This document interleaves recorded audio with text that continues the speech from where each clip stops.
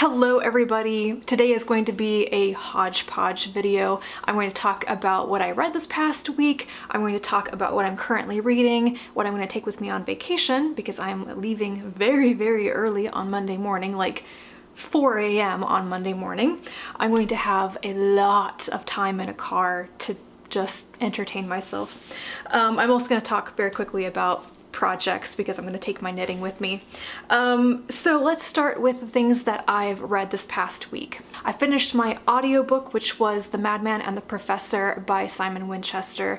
I could probably spend a lot of time talking about this book and what was so interesting about it, but also what was frustrating about the organization of the book and the way that Winchester chose to portray some stuff. I don't know. I would describe this as a dual biography of two very different and yet also very similar men who worked on the Oxford English Dictionary project, the first edition, or compiling the first edition from like the 1890s to the 1910s. Um, one of them was committed to an insane asylum for 30 plus years.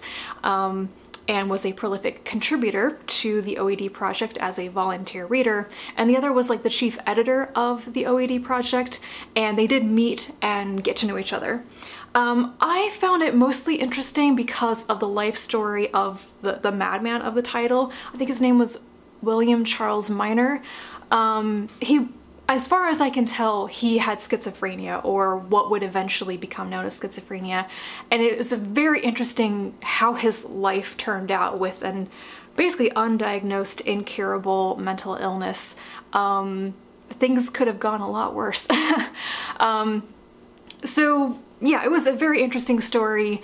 I object to how much Winchester interrupted his own narrative though. It was kind of disorienting to listen to it on audiobook without any cues from the formatting or the table of contents.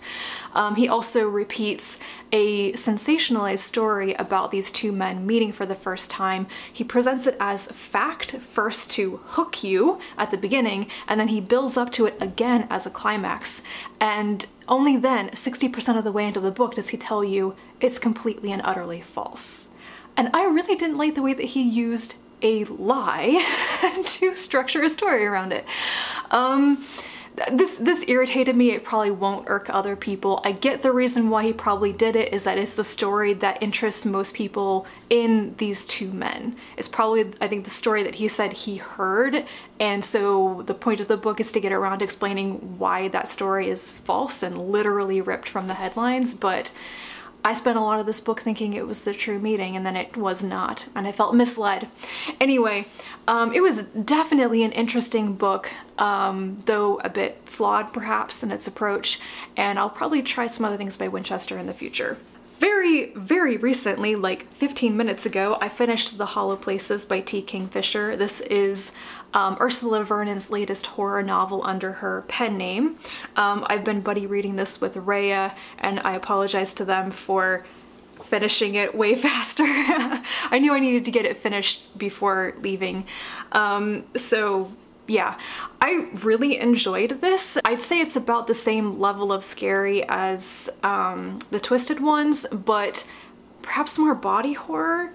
Um, there were some elements of it that got to me a little bit more and the ending was way more intense than the ending of the Twisted ones. So I enjoyed it and it has um, it has Vernon's kind of easy, practical, and humorous style. I really enjoy her characters and everything, so it was quite good.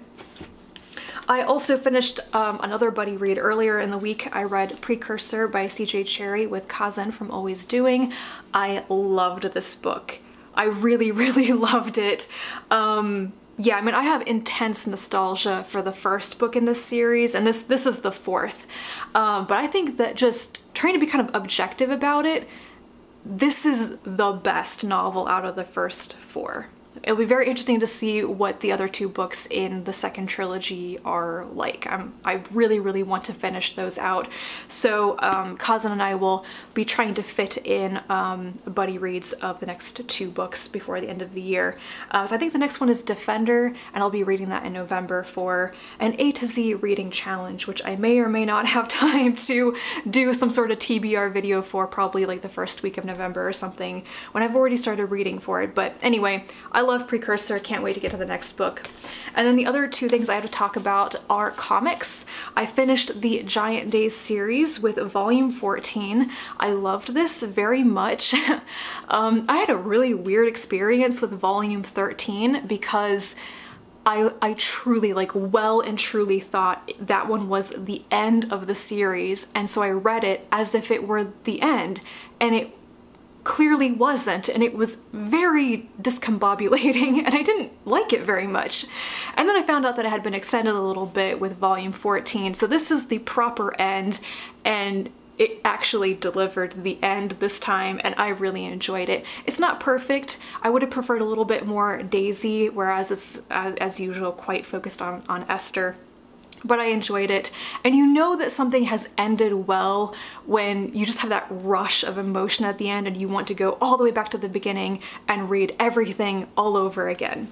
So I may very well do that. This has definitely been one of the most successful comics I've read from beginning to end and yeah, so good. And surprisingly, I also read a collection of bonus Lumberjane stories. This one is called Campfire Songs. It is not one of the numbered volumes in the series. I think that these are probably various one-shot issues that guest writers and guest artists did over the past couple of years. Um, so every issue in this varies a lot in length. A couple are quite long, a couple are only a few pages long. Um, one of them was written by Seanan McGuire and is one, one of the uh, better ones actually. I really enjoyed this. It, it wasn't as good as the early volumes in the series were, that's for sure. But for a bunch of bonus stories that don't super connect to the main plot, it was good. And I really liked the writing in all of them, and I really liked the artwork. Um, the only exception was like the very last one. It was a crossover with Misfits, and I enjoyed Misfits, but I didn't care for that one. I thought it was kind of boring. It was like um, murder mystery dinner slash haunted house thing and I could have cared less. Um, and then after I read this, I found out that Lumberjanes is ending, which is the thing that I've wanted to know about for years. Like when will this series wrap it up? It's ending in December. Only a couple more issues are going to be published. and I did not know about that until very recently. So I think I'm going to stick it out until the end. Uh, there'll only maybe be three or four more volumes of this series and I will read them and see how it ends as long as I can get them from the library. I'm not going to go back to buying this series, that's for sure, but I have some hope um, based on some reviews I've seen of future issues that I will actually like the direction it goes in for the end and kind of getting back to some of the longer running story arcs and questions and everything about the Lumberjanes camp. So that was really quite successful. Um, the only unsuccessful thing I had with my reading this week was that I did DNF a book. I DNF'd Baba Yaga Laid an Egg by Dubravka Ugrešić, which I felt kind of bad about because it's an otherwise award winner it's the first book I've DNF'd for that particular award, but it, it wasn't working for me. It just wasn't my type of book, wasn't my type of story, and I really didn't like the way it was written, and I really didn't like the characters, so I, I let it go. I think I read almost 40% of it, which is a really good try. Usually I would DNF things much faster than that. But other than that, everything else I read this week was like really good. So now let's talk about what I am currently reading and what I'm taking with me on vacation. Um, I'm still reading The Red First Light by Linda Nagata. I actually haven't read any more of this since I talked about it in my last Friday Reads update. Um, I just have been focused on finishing library books instead, so I'll be taking that one with me on my Kindle for vacation. Um, I am also reading a novel in this collection. Um, this is the collected fiction of Leena Krohn, and I am reading the novel in this. It's called Datura or the... what, what? Datura or a Delusion We All See. I keep getting that wrong. Um, it's a short novel and I will probably finish it tomorrow. Um, I've had this for years and it's taken me this long to read it. I'm really enjoying it. It's about a woman who works as a sub-editor at a like paranormal activity magazine and it's a lot of stuff that she learns from various subscribers to the magazine, various people who come into her office and want to talk to her about their monomanias like ethnobotany and the sound of silence and stuff. And I just find it very interesting. It's uh, about also like reality being a delusion? Like what what is perception? How can we all be sure that we're perceiving the world the way it really is? Um, also about datura which is a poisonous flower and it just it's very interesting. Um, so I will probably speed my way through that once I am done filming this video. And then I probably won't finish it by the time I leave but I'm going to start Pet by Akwaeke Emezi today. I, I've been trying to catch up on my watch later list here on YouTube and I have just seen like four people in a row talk about this book in their wrap-ups from earlier in the year because I'm very behind on watching people's videos. And I thought, well, I have it checked out from the library. I need to start reading this book. So I'm going to start this. We'll see if I finish it or not. It's pretty short, actually. Like, it's very short. It's 200 pages long, so maybe I'll finish this before I leave tomorrow as well. Not leave tomorrow, leave the day after tomorrow.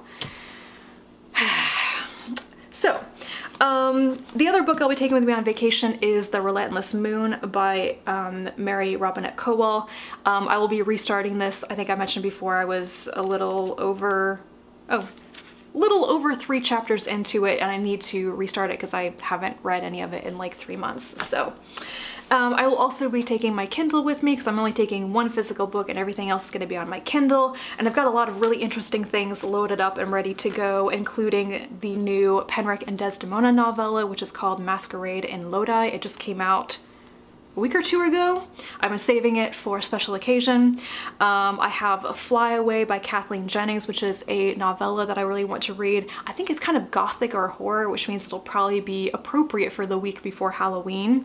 Um, I have The Heroine's Journey by Gail Carriger, which is a nonfiction book about the heroine's journey in fiction. Um, and I also have When No One Is Watching by Alyssa Cole, which is her new thriller. Um, I was planning on reading uh, more of her romance next, and then my hold on this came up and I thought, I'm gonna check it out and see what the hype is about. Plus a lot of other things because I have a lot of unread ebooks, but that's enough for now.